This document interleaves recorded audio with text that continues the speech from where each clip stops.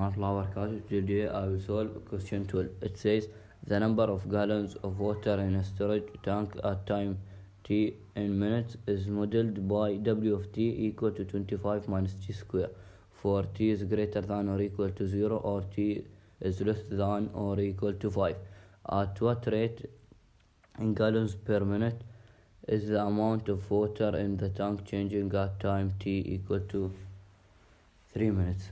So we have to take the derivative of w of t. It will be w prime of t equal to 25, which is a constant, so it will be 0 minus, uh, we will make the power down and minus it by 1, so it will be 2t to the power 5. When we will replace t by 3, it will be minus 2 times 3 equal to minus 2.